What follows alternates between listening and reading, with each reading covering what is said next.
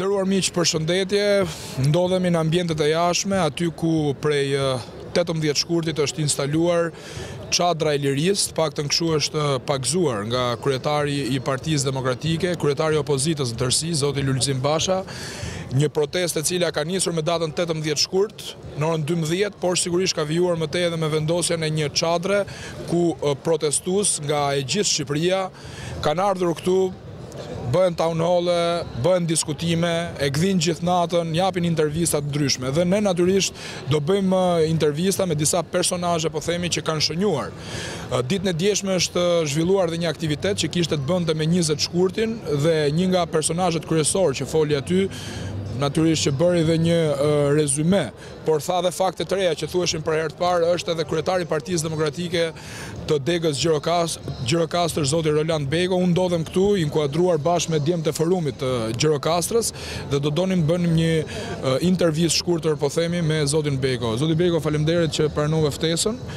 Dhe pyetja ime e parë natyrisht është që ju i bashkoheni protestës, ju kemi parë shumë aktiv këto kohë, edhe brenda çadrës me njerëz, vini nga Gjirokastra, Si duket atmosfera dhe a do dorëzoheni? Jo.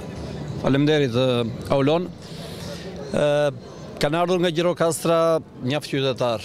Ishte befasi sepse përveç qytetarëve të regjistruar dhe të deklaruar për ardhjen në Tiranë, këtu kam gjetur dhe qytetarë të tjerë të Gjirokastrës, të cilët me thënë drejtë nuk e dija fare që kishin ndonjë simpati ose ndonjë adhurim për Partinë Demokratike të shprehur në qytetin e tyre. Kjo do të thotë që Gjirokastra ka me dhjetra arsye, ashtu siç kanë dhe qytetarët e tjerë të Shqipërisë për të protestuar. Mjafton t'ju jap dy shifra të deklaruara nga Instati i Edi Ramës, ku thuhet që Gjirokastra vetëm këto dy vitet e fundit ka një moshë mesatare shumë të rritur, ka kaluar mosha mesatare dhe në tridhjetë e gjashtë për qind. Dhe Gjirokastra që ka qenë një nga qytetet që në këto njëzet e gjashtë vjet ka pasur një nivel mesatar të jetesës shumë të lartë, tashmë është renditet nga qytetet me nivel mesatar shumë të ulët. Pra, poshtë qyteteve të tjera dhe madje i paraprin dhe Kukësit që ka qenë kampion për largimin e qytetarëve nga Shqipëria, sepse tani ka kaluar Gjirokastra në vend të parë. 22000 qytetarë të Gjirokastrës që kanë qenë para një vit e gjysëm në qytet, tashmë ka kaluar në 17000 qytetarë dhe kjo do të thotë që Gjirokastra sa vjen edhe po rrudhet. Atëra përse ndodh kjo rrudhje? Kjo rrudhje ndodh për shkak të politikave të gabuara që ka ndjekur qeveria në këtë rajon, në këtë qark të rëndësishëm, dhe në një qark që është shumë pranë një vendi të Bashkimit Europian dhe nuk ka asnjë përfitim prej tij. Do të thotë që qeveria e ka monopolizuar gjithçka në në Tiranë dhe ekonomia kriminale që kërkon qeveria të ndërtojë në jug të Shqipërisë, ashtu si në gjithë Shqipërinë, nëpërmjet industrisë kriminale të kanabisit, nuk është asgjë tjetër veçse sa një zhgënjim i madh për qytetarët, e cila sjellë varfëri, papunësi dhe kriminalitet të lartë. Këto janë arsye, këto janë disa prej arsyeve dhe dhjetra të tjera që i nxisin qytetarët e Gjirokastrës t'i bashkohen protestës sonë. Pra, kjo na bind që kemi të bëjmë me një protestë tërësisht qytetare më shumë se sa politike.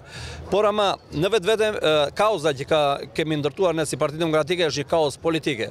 Është pikërisht ajo që siç e thatë ju, e evokuam dhe dje në takimin që u mbajt me rastin e njëzet e gjashtë vjetorit të lëvizjes studentore, pra të rrëzimit të diktatorit Enver Hoxha, ku edhe njëzet e gjashtë vjet më parë ne as më shumë as më pak po kemi kërkuar pluralizmin politik. Pra kemi kërkuar lirinë e shprehjes së qytetarëve, kemi kërkuar votën e lirë të ndershme dhe demokratike të qytetarëve, gjë që ende sot pas njëzet e gjashtë vjetësh nuk e kemi të garantuar këtë gjë. Jo vetëm që nuk e kemi të garantuar, por e kemi të kërcënuar shumë herë më shumë dhe shumë herë më në mënyrë më kriminale se sa ç'ka qenë në kohën e diktaturës. Në kohën e diktaturës ne kishim përballë, ne kishim përballë një klikë të egër komuniste, ndërsa sot kemi një oligarki të egër, të bijve të këtyre komunistëve, të cilët, siç thashë, kanë kriminalizuar ekonominë dhe i kanë bërë shqiptarët të humbasin shpresën këtu dhe të largohen. Dhe me këto pare të krimit, ata po përgatisin falangat e tyre për të blerë votat. Dhe kjo është evidente në Gjirokastër. Kam pasur vizita edhe të ambasadorëve, ka qenë para disa ditësh ambasadori britanik që kishte ardhur enkas për këtë çështje, për të parë se ç'po ndodh realisht në jug. të Shqipërisë me fenomenin e blerjes së votave. Dhe fakti që kanë reaguar jo vetëm opozita për çështjen e blerjes së votave, jo vetëm qytetarët aty ku janë, në vendet e tyre kur shikojnë që falangat e krimit të mbështetura nga segmente të policisë po bëhen gati të manipulojnë dhe të vjedhin votën, po kanë reaguar edhe deputetë të partive aleate, por edhe ish deputetë dhe ish ministra të të mazhorancës në pushtet do të thotë që kemi të bëjmë realisht me një fenomen shumë shqetësues.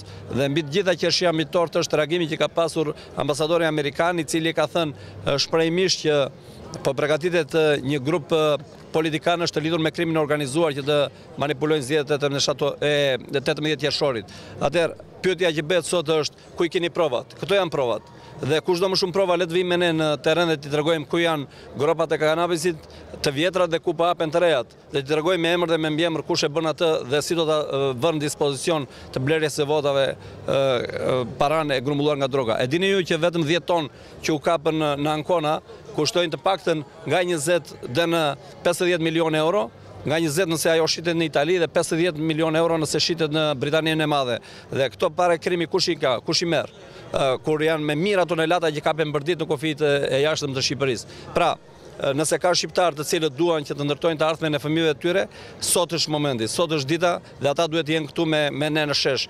Dhe ka një garanci shumë të madhe, sepse ka një parti demokratike e cila sot udhëhiqet nga një staf i ri, që ka ambicje dhe është i etur, domethënë për të zhvilluar Shqipërinë dhe për ta çuar përpara, sepse me një drejtues, me një lider si Lulzim Basha, i cili është një mendjehapur, një njeri që ka dhënë prova dhe unë kam pasur fatin të punoja në në kohën e liberalizimit të vizave në grupin e ekspertëve dhe kudo që shkonim në në Evropë merrnim përgëzimet më të mira dhe quanin dhe një avantazh më shumë që kishte Shqipëria për të marrë liberalizimin e vizave falë edhe performancës së shkëlqyer që kishte Lulzim Basha.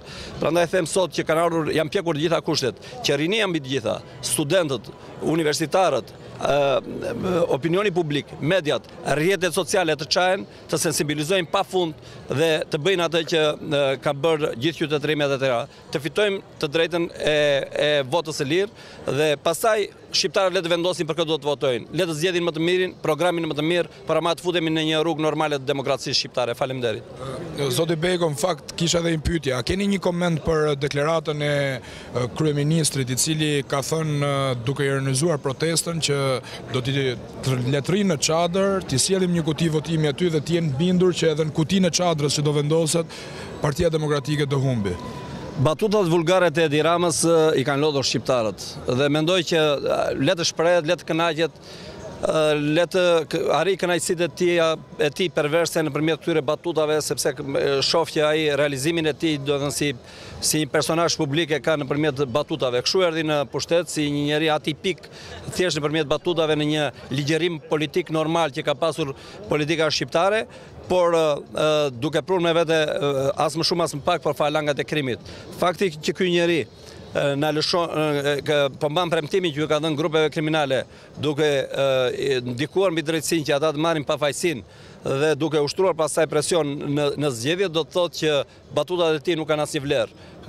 Kjo do të jetë çadra këtu mbrapa nesh, do të jetë arena e debateve, do të jetë arena e ideve, do të jetë arena e atij programacioni i cili herët apo vonë por unë jam i bindur që shumë shpejt do të japi frutet e veta ku Edi Rama do ta shikojë veten shah mat dhe s'do të ketë më lëvizje për të bërë, por do të dorëzohet përpara reagimit qytetar. Dhe batutat e tij pastaj do të përfundojnë thjesht në koshin e plehrave dhe nuk do kenë më asnjë vlerë.